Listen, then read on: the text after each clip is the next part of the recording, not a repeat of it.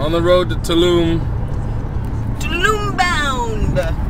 We're heading to Tulum. We got we went to the Mega, We did. the supermarket. You saw that. We got helped by a uh, a woman who I guess didn't think I spoke good enough Spanish. Apparently you don't.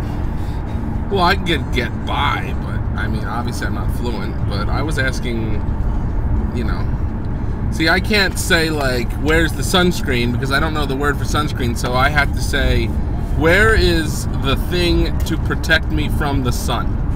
Which can get, I mean, that to me would mean sunscreen. I, if someone asked me that in broken English, I would say, "Oh, you mean sunscreen." So I was getting by okay. Now, this woman came and helped us. She was very, very helpful.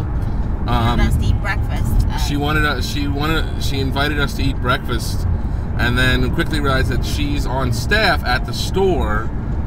She's paid by uh, the people who own. You can see it in the sign up here.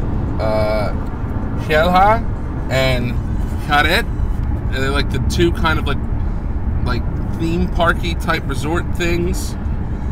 Um, kind of like Mexican Disney World yeah. and they're everywhere. Like they're present, they are omnipresent here. Uh, everybody's trying to sell you tickets to there because it's you know really really popular among the tourists, and apparently they're pretty cool.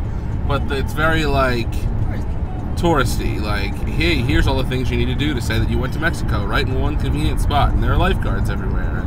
Blah blah blah. blah. So not really our style. Um, so I guess she kind of like makes her commission on whether or not she helps people do their shopping in this place, and then Buy tickets. convinces them to buy tickets through her to these uh, these places. So you know, we politely declined, and um, you know, so what are you gonna do? Uh, right now, we are heading to Tulum on our own. You know, she was like, "Oh, I can. I have very good tours to Tulum and things like." that. like, no, we got a rental car. We better use it. Um, so I don't know where the lane is. the lanes here are very like not not so much actual lanes as suggestions of lanes. So it's kind of interesting to drive, uh, but it's no big deal.